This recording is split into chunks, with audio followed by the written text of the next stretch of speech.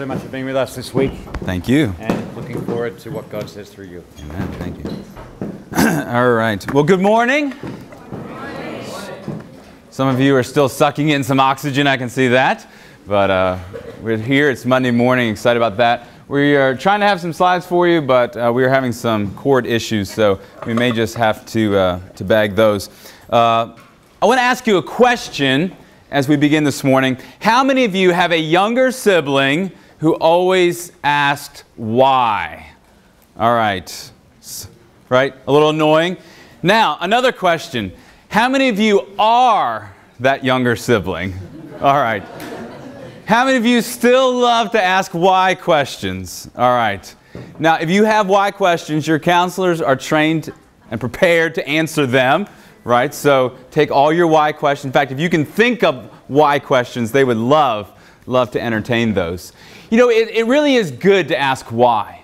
You know, as, as kids, you know, as children, we, we intuitively learn to ask why. We ask questions.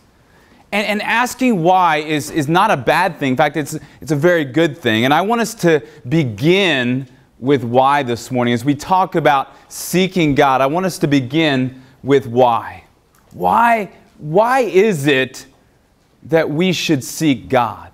Why is it that we should have a, a posture in our lives that, that involves seeking after God? I mean, why do we need to do that? And, and in fact, as you think about this subject, you might be thinking, well, why do I need to seek after God? If it, it doesn't the Bible say that if I know Jesus Christ as my Savior, that, that God lives in me? He, he's with me all the time. You know, in Psalm 139, you know, David reminds us that there's nowhere that we can go and escape the presence of God right? He says, whether I go to the highest mountain or I even, if I literally went to the depths of, of hell, he says, there's nowhere that I could go that I could escape the presence of God. So why, why is it that we would seek God if He lives with us? Why would we seek God if He's promised to never leave us nor forsake us? Why is it that we have to seek? And I want us to, to think about that question and those thoughts as we sort of work through our week and, and, and think about that. I want us to, to realize that although God is always with us, if you know Christ is your Savior, if Jesus is your Savior, there's never a moment that God will not be with you. But there will be moments where we are not in tune to our relationship with God. There will be times where we are not as aware of His nearness, not always growing in our relationship with Him and our walk with Him. And that is why we need to seek Him. And I want us to begin with this word relationship. All right, how many of you familiar with this word relationship? All right. Now, just somebody tell me this morning, what popped into your mind when I said relationship? Just first thing that popped in your mind. Somebody help me out here. Yes. brother. Your brother. All right. Anybody else? Somebody, what, what comes, what just, first thing that came into your mind when you heard relationship? Yes. Dating. Dating. All right. Which we don't allow here, right? uh, I may or may not have done a little bit of that when I was a camper, but enough of those stories. Right. All right. You know, when I came back as chapel speaker uh, a few years ago, and I, uh, I got a list of the rules, and I said, wow, there's a lot of rules. But relationship is, is a word that we're all familiar with, right? And we certainly think about human relationships. We think about dating or marriage, our family relationships, right? But relationship's also a word that you've probably used and associated with God, right? We, you, I'm sure most of you, if not all of you, have heard the, the idea that we have a relationship with God. In fact, sometimes we use phrases like it's, it's not a religion, it's a relationship. And we talk about having a relationship with God. And so I want us to explore the nature of, of what it means to have a relationship with God and what that has to do with seeking this morning. And I want us to begin by just looking at one verse. If you have your Bible, and I hope you do, we're going to begin in John chapter 17. And we are going to look at just one verse there. In John chapter 17, we uh, are given a privilege of, of reading and hearing a prayer that Jesus prayed the night before he went to the cross. Right? The night before he went to the cross for you and for me and for the entire world, Jesus prayed a prayer, and he prayed this prayer in front of his disciples. Right? He prayed this in their hearing. And so he prayed to his Father, but he prayed so that they might hear and that they might benefit from hearing his prayer. And in God's providence and his wisdom, God directed John to record this prayer for us. And in that prayer that Jesus prayed, there, there's a key aspect that he prays about that helps us to understand what it means to know God. And it's John 17, verse 3, and I want us to, to uh, read that together. In, in John 17, 3, Jesus, praying to his Father, said, Now this is eternal life, that they know you, the only true God, and Jesus Christ, whom you have sent. Just let's, let's just hear that again. Jesus says, Now this, this is eternal life right? And, and we, we, we're familiar with that phrase, eternal life. And Jesus, this is what eternal life, the life of God in you, is about. This is what the life that He came to give us is about. He said, This life is that they would know you, the only true God, and Jesus Christ, whom you have sent. The heart of why Jesus came, why He lived, why He died, why He rose from the dead. Why he offers and invites us to know him is that we might experience relationship with him. That, that God wired you, He designed you, He created you with the capacity, with the ability to have a relationship with Him. Right? And that's, that's a really a mind blowing thought, isn't it? Like, I, I don't know about you, but when I, when I sort of step back and I think about the vastness of God, the greatness of God, the glory of God, how, how big God is, it's unfathomable how big God is. I mean, when we look at the universe and, and just see the vastness of it, billions and billions and billions of stars, galaxies, right? And, the Bible says that God not only spoke all of that into existence, but He's named every star, right? That God is so far greater than we could ever begin to comprehend. He, he's so much bigger than, than we could even begin to imagine. And yet, that God, the Creator God, desires relationship with us that God desires relationship with us. And Jesus came and offered us back really what we forfeited, right? What we forfeited through sin by rejecting God and His ways. You know, you have several rules that you have to follow here, right? Would you all agree? All right. And following the rules is good. Shake your heads. Yes. All right. It's good. But God gave Adam and Eve one rule, right? Just one rule. And they couldn't keep that, could they? Right? One rule, just you can do whatever you want. Just don't eat of the tree of the knowledge of good and evil, because if you do, you will die. You will experience separation from me. And they did. But Jesus came to offer restoration of that relationship now and for eternity. And he offers us relationship. He offers us eternal life. And eternal life is about knowing the Father, about knowing God. Eternal life is about knowing Jesus. Eternal life is an invitation to know God relationally. Now think about that. Eternal life is an invitation to know God relationally. That God desires relationship with you. And that is the heart of seeking because any relationship requires seeking. Right? Any relationship requires seeking. Right? When I first met my wife, right? She happened to come into a meeting, and, and she wasn't even scheduled to be at that meeting, and I was working uh, for uh, the campus pastor's office at the college I attended, and, and, I saw her, and I said to my friend I was working with her, I said, who is she, right? I need to find out more about this one, right? And, and, and I did. It wasn't stalking, we, but, but I did some seeking, right? Some seeking. hey, it worked, all right? I'm not to I'm not going to argue with it now. But but I, I, did some seeking, right? And, and, and, I sought out to get to know her a little bit better. And I would leave the cafeteria, there, when I started being interested, I would leave the cafeteria on the minute. Because I knew if I left at that minute, and I had a class after that, but I left at that precise minute that I would always pass her on the way to her. And I wanted to make sure that she saw me. Right? Because there were other guys in the mix, all right? I, I had to do work, all right? I had to do work. But I did some seeking. But, but not just that kind of seeking, even in a relationship, even once you're married, you have to continue to seek each other, to seek to know each other, right? To understand each other. Relationship requires seeking. And our seeking God, Right? Our, our seeking God is all about us in relationship with our Creator God, with our Savior. It's about seeking Him that we might know Him more. Because Jesus said, This is eternal life. This is what eternal life is about. Eternal life is about knowing the one true God and Jesus Christ, whom He sent. This seeking of God is a result of the fact that God sought us. Listen to 1 John chapter 4, verse 10. If you have your Bible, you can, if you can turn there. Uh, if not, just listen. But 1 John chapter 4, verse 10. John also writing this, this epistle, this letter, he says, This is love.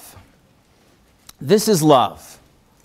Not that we loved God, but that He loved us and sent His Son as an atoning sacrifice for our sins. Now think about that.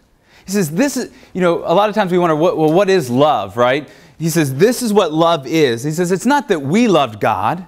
It's, right, it's not that we were seeking after Him, but that He loved us and sent His Son as an atoning sacrifice for our sins. Right? God has offered and initiated a relationship with you. Right? God took the initiative. Jesus took the initiative when He came from heaven to earth. Right? Jesus came to seek and to save, the Bible says, those who were lost. Right? Our God is a God who desires that men and women and boys and girls would know Him and experience relationship with Him. And Jesus' life and His death and His resurrection make that possible. It's what makes the message of, of Jesus, it what makes the message of Jesus so distinct, right? There's, there's all kinds of religions and religious beliefs and spiritual beliefs. But there was none like Jesus because not only did Jesus proclaim that he was the way, he proclaimed that he would die and rise from the dead. Right? Because anybody can show up and say that they're God. Anybody, anybody can say they're the Messiah. And lots of people actually did. But only Jesus, right? Only Jesus said, I will die and I will rise from the dead. And he accomplished that. And we have historically reliable documents that point to the reality that Jesus really did rise from the dead. And because of that, because of that, you and I, through faith in Him, through belief, we can experience not just forgiveness of our sin, right? Like, that would just be amazingly enough, right? Right? Because one thing we can, like, we all come from different backgrounds, right? We all come from different places, different experiences, different pasts, different stories. None of our stories are exactly the same. But one thing we all have in common is sin. Right? Every single one of us have rebelled against our Creator. Every single one of us have sinned. Right? That's something we have in common. Right? But Jesus came to bear that sin for you and for me and to offer us forgiveness and to offer us relationship with Himself. That sin is a barrier, but Jesus broke down that barrier. He lived the life that you could not live right? Jesus lived a perfect life without sin in your place. He lived for you, He died for you, He rose for you, and He's coming again one day for those that are His. And so, in that context, right, in that view, this is eternal life, right? That they may know the one true God and Jesus Christ, whom you sent. The gospel is not a call to mere religion, right? It's not just a call to ritual, right? Rituals can be good in our faith, but the gospel is not a call to ritual. It's not a call to rule keeping, right? Aren't you grateful for that? Now, don't worry, we're going to talk about obedience before we're through. But the gospel is not a call to religion or ritual or rule keeping. It's a relationship initiated by the love of God and the grace of God through Jesus Christ. And in that relationship that God offers you, if you have that relationship, God calls you to be a seeker after Him. He, he comes through the Spirit to live in you. Right? He will never leave you or never forsake you, but He desires that in this relationship that He has initiated with you, right? God took the initiative. He desires that you would seek Him and know Him. And, and so a relationship with God is a lifelong pursuit of knowing God.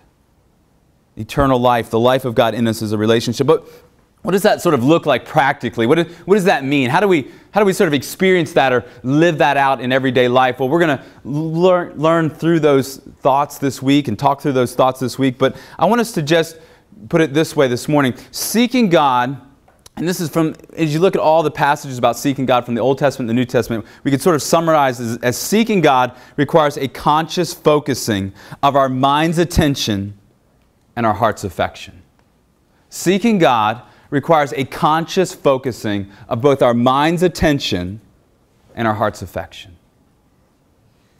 That, that if we are going to pursue this relationship that God has initiated with us, that it's going to require our mind's attention and our heart's affection. You have been called by God to seek Him, to know Him. And as I shared last night, it's, it's my desire, it's my heart that, that this week might be an experience for you. I mean, you're going to experience so much this week. You've already, how many of you, it feels like you've already been here a week? All right. It's just so much happens in so little time. Some of you have been here a week. All right. That's normal for you to feel that way. Good point. Good point. You're going to experience so much this week. You're going to be, you're going to be stretched and challenged in your music, right? You're going to be pushed. Some of you past where you think you can go, and you're going to grow because of it. And you're going to learn, and it's going to be great. We're, we're going to have times of, of being challenged. We're going to have times of fun and enjoyment of friendships, relationships. And it, but in all those things, right, I, I, I desire for all of us that God might birth in our hearts a fresh desire to seek Him. And that's because of relationship. You know, we're, we're, we're all seekers, right? Whether you realize it or not, you are a seeker. Everybody seeks. Right? And we seek that which what we desire, right? And, and some of the things we desire, we, we desire satisfaction, and so we may search and seek for satisfaction. We desire fulfillment, and we search and seek for it. We desire beauty, and we search and seek for it. We desire peace, and we search and seek for it. We desire joy, and we search and seek for it. We desire happiness, and we search and seek for it. All those things are good things. But if our pursuit is based on those things, we'll actually never experience what we desire. Because ultimately, the only one who can fulfill any of those desires is God. You were made in the image and the likeness of God. Right? Psalm 139, so clear about that. We were, we were formed and fashioned in the image of God. God knit you together. God purposely made you the way that you are. Right? You know, sometimes we get frustrated. How many of you ever get frustrated with yourself? Anybody? All right. That's pretty much all of us. A couple of you didn't raise your hands. I'll pray for your honesty, right? right we, we all get frustrated with ourselves, whether it's our, our limitations, our, our failures, or our mistakes. But I want you to know that God made you just the way He wanted you. He formed you in His image, He made you after His likeness. You were created in His image, and you were created to know Him. You are designed. You are different from all other aspects of creation, right? You are different because God created you to know Him. You were made by God and you were made for God. I love Colossians chapter 1. It's one of my favorite chapters in the Bible. And in Colossians chapter 1, at the end of verse 16, and speaking of Jesus as the creator, right? Because Jesus is both man who came to earth, but he's the eternal God and the eternal creator. In Colossians chapter 1, verse 16, it says, All things were made through him and all things were made for him. You were made by God, and you were made for God. And, it's not until you understand that and this relationship that God wants to have with you that will ever develop a real heart to be a God seeker, to seek after Him in His ways. So, what does it take to be a God seeker? Just to sort of summarize it for us this morning, three things that I want to share with you. First of all, it requires a response to God's grace. Right? You personally, for yourself, have to respond to the invitation that God makes. And many of you have, but maybe some of you haven't. And it's my desire, it's my heart that while you are here, that you would see and hear and know the invitation of God. That there really is a God in heaven who made you. And that God in heaven who made you loves you. That God in heaven who made you and loves you gave his son for you. Right? John 3:16 for what? God so loved the world that he gave his son. I've shared this in past years with you, so for you that are returning, you've probably heard this before. And I'll talk about my kids some this week, but I love my kids so much. I love being a dad. There's a few things better in life. And I love my kids so much. And, and, and I, I wouldn't, you know, I love you guys. If, if somebody came in that door right now and wanted to harm you, I would put myself in, in, in between you and them because I love you and I care about you. But what I would not do is put my children between you and them. Do you understand that? All right, it's you first, not my kids. Are you with me? All right? I, I love you, but I, I just, I don't think I could give my, my children for any of you. But God did. And He was willing to do that. And Jesus was willing to do that for you. And when you understand that, it changes everything. I hope that if you've never responded to the invitation of the gospel, the good news, that, that this week you will hear and understand and know, and that God might give you the faith to believe, to trust Him. And that requires an acknowledgement of your sin and your rebellion. It requires a faith and a belief that Jesus died for you, that He rose from the dead, that He's coming again, and that you want Him, him to live in you, that you want to know Him. Right? It's not just about going to heaven. It's not just about being forgiven. Remember we said earlier, like, wouldn't it be amazing if God just forgave our sin? Right? You know how, remember I said, hey, that, we've all sinned? If God just forgave us, that would be extraordinary. If God just said, you know what, I won't hold your sin against you. But God says, not only do I not hold my sin against you, I, I want to lavish my love and my grace and my mercy on you. And, and one of my favorite verses, Luke chapter 12, verse 32, and it says, Fear not, little flock, for it's the Father's good pleasure to give you his kingdom. Right? God wants you to know him and experience him and live in relationship with him and in his kingdom forever. And that requires a response to his grace. And if you've never responded to his grace, I hope that while you're here, you will and your counselors, your faculty, the staff, myself, any of us would love to talk to you about that. And secondly, it requires your mind's attention. Right, as we already mentioned, it requires your mind's attention. So I'd ask you this morning to do some evaluation. Where, where really is the attention of your mind? Where are you focusing your mind's attention? What's getting first place with your mind's attention? We'll never be God seekers until God has our attention, but not just our attention, our affection. Right? Jesus said that we were to love Him with our heart, our mind, and our soul. And that requires our mind's attention, but also our heart's affection. And so I want to invite you uh, this week to go on a journey with me. Right I'm asking God to do in my own life what I'm asking Him to do in your life, right? And which is to reignite a passion and a desire, a thirst and a hunger to seek this God who has sought us and who has loved us so deeply and so greatly. And so I want to just ask you sometime today, before you go to bed, just do a little bit of reflection and just ask God, God, how's my affection? How's my attention? Where is it? And, and maybe I've got some priorities that need to be rearranged so that I can seek after this God who sought after me. I, I want you to know desperately how much God loves you and how amazing the relationship that He offers you. It's an eternal relationship. This is eternal life. Jesus prayed that, that we would know the Father, that we would know the one true God and His Son, Jesus Christ. Let me pray for you this morning. Father in heaven, I thank you for uh, this new day that you've given us, this gift. And Father, I know for uh, a lot of us, this is a day that we've looked forward to for a long time, the first full day uh, of Csehy. And Father, I thank you that you've brought us here together. And Father, I, I pray that uh, in our time together this week, Father, whether it's at breakfast or in chapel or in lessons or rehearsals, whether it's in practice or whether it's on the frisbee field, Father, I pray that in, in all things, Father, you would be at work in our lives, drawing us and leading us towards yourself. And Father, I pray that, that you might birth in our hearts a fresh hunger and a desire to seek you. Father, I pray that you would do it in my own life, and I pray that you would do it in each camper's life, in each counselor's life, in our faculty, our staff. Father, may we have a hunger and a desire to seek you. And Father, may, may that desire come out of this incredible relationship that you offer us. Father, I pray that there would be no one here this morning that, that wouldn't understand the love that you have towards them and the desire that you have to give them relationship with you. And Father, I pray that you would work powerfully in our hearts and lives this week. I pray that we'd experience you. I pray that we'd experience your love, your joy, your peace, your grace your goodness. And Father, I pray that you would be glorified in all. And we ask this in Jesus' name. Amen.